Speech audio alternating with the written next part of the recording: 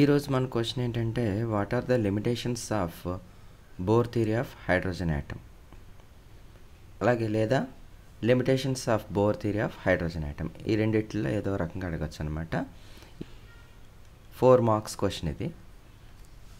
Chapter వచ్చి atoms అనమాట so very very important question ఈ పాయింట్స్ మాత్రం ఖచ్చితంగా మెన్షన్ చేయాలి. ఇందులో ఫస్ట్ పాయింట్ ఏంటంటే Bohr's model could not explain the spectra of complex atoms of multi electric systems. ఇక్కడ కాంప్లెక్స్ యాటమ్స్కి సంబంధించిన స్పెక్ట్రమ్ అనేది చెప్పలేకపోయింది. ఇది ఓన్లీ హైడ్రోజన్ స్పెక్ట్రమ్ను మాత్రమే చెప్పగలిగింది అనమాట అంటే మామూలుగా హైడ్రోజన్ యాటమ్ తీసుకుంటే సింగిల్ యాటమ్ ఉంటుంది.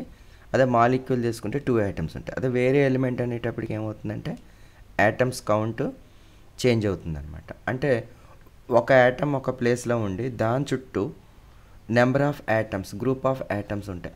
అక్కడ ఆ సిచ్యువేషన్లో అయితే కనుక ఈ Bohr theory Bohr model explain చేయలేకపోయింది అనమాట second point it could not explain difference in intensities of emitted radiations ఇక్కడ ఏంటి?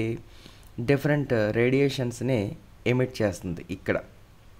అంటే ఒక ఎలక్ట్రాన్ ఒక లెవెల్ నుంచి ఇంకొక లెవెల్కి జంప్ చేసినప్పుడు రేడియేషన్ రిలీజ్ అవుతుందన్నమాట అయితే వేరే లెవెల్కి జంప్ చేసినప్పుడు వేరే రేడియేషన్ రిలీజ్ అవుతుంది. సో కాబట్టి లెవెల్ని బట్టి ఆ యొక్క రేడియేషన్కి డిఫరెంట్ ఇంటెన్సిటీ అనేది ఎమిట్ చేస్తుంది. కానీ ఆ ఇంటెన్సిటీస్ యొక్క డిఫరెన్స్ని మాత్రం ఈ బోర్ థియరీ ఎక్స్ప్లెయిన్ చేయలేకపోయింది. ఎందుకంటే ఇక్కడ ఇది ఓన్లీ వేవ్ నేచర్ని బేస్ చేసుకొని డెవలప్ చేసిన థియరీ అనమాట ఇది ఎక్కడా కూడా పార్టికల్ నేచర్ గురించి మాట్లాడలే. అంటే డ్యూయల్ నేచర్ గురించి మాట్లాడలేదన్నమాట.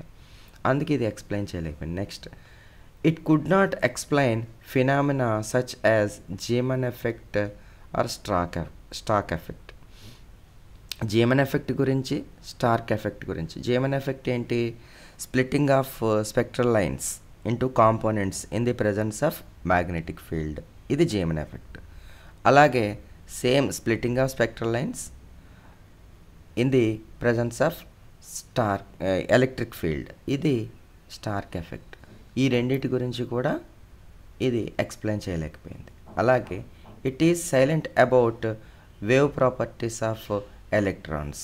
Wave properties of electrons అంటే ఇప్పుడు డ్యూయల్ నేచర్ అనమాట ఎలక్ట్రాన్స్ ఈ వేవ్లో నుంచి ట్రావెల్ చేస్తాయి. అంటే ఎలక్ట్రాన్ అనేది వేవ్ నేచర్లో ట్రావెల్ చేస్తుంది అనే టాపిక్ గురించి కూడా ఈ concept చెప్పలేకపోయింది. Next it does not explain fine structure of spectral lines in the hydrogen atom hydrogen యాటంలోని spectral lines form అవుతాయి.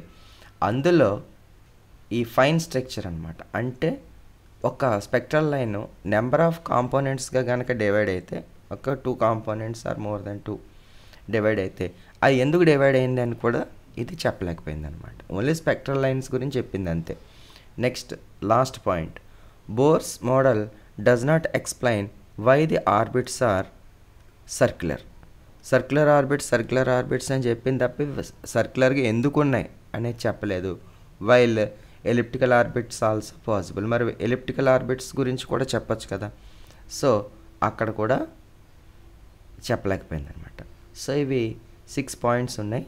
ఈ సిక్స్ పాయింట్స్ కూడా జనరల్గా ముఖ్యమైన వర్డ్స్ ఏది కూడా మిస్ అవ్వకుండా ప్రజెంట్ చేస్తే మనకి ఫుల్ మార్క్స్ పడతాయి అన్నమాట ఓకే థ్యాంక్ యూ